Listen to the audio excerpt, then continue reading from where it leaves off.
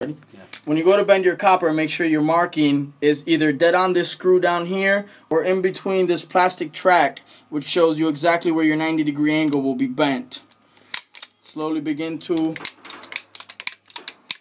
crank the copper in the direction to your desired turn.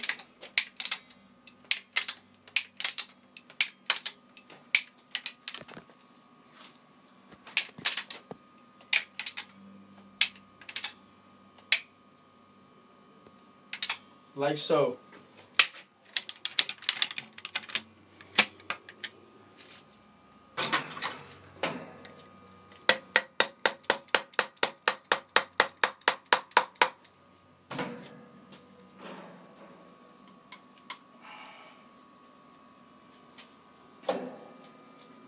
The following step is going to be using the swedging tool.